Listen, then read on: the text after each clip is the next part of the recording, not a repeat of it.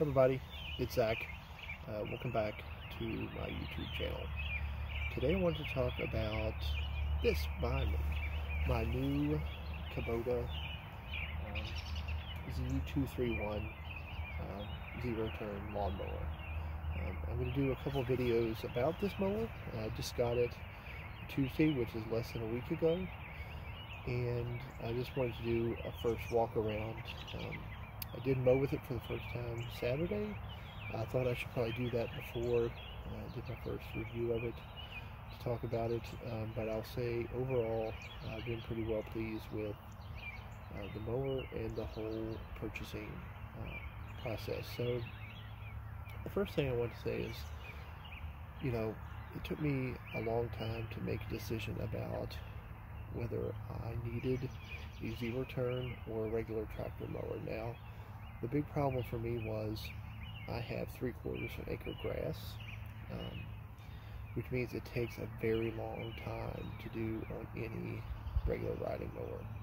Um, just the turning time and the speed of things, um, it would take me over an hour on the mower to do it just one time, um, which was really difficult for me and meant that I had to either mow on Saturday or Sunday, and if it rained both those days, I was really out of luck. So I initially thought, well, maybe I should get a zero turn uh, because I knew that that would reduce the amount of time that it took me to mow my grass. And so I did a bunch of research um, to see if I wanted to get one. I was kind of reluctant because they're more expensive, they're bigger. Um, but as I talk to a lot of my friends that do mowing commercially, and I watch a lot of videos and stuff, the amount of time that you save um, is just astronomical. And you're really not gaining anything by getting the tractor. Um, some people said, you know, things like um, banks and stuff. I don't have any of those here. Um, I don't really have anywhere that, that isn't almost completely flat. You know, I do live on a little bit of a slope, um, but overall this is a really flat yard and really easy to mow even with a zero turn. Um, and I had some people come look at my yard that mowed that were friends of mine, and they said I shouldn't have any problems. So what I did was uh, I decided to research what the best mowers were, um, and I did that in terms of online. Um, I looked on YouTube, um, Consumer Reports, all those good places, and also talk to the people that I know that mow.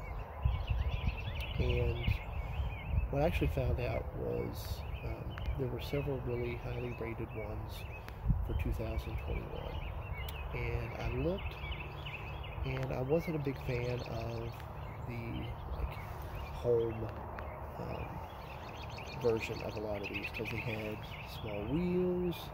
Um, they might have had a big deck, but they were kind of underpowered.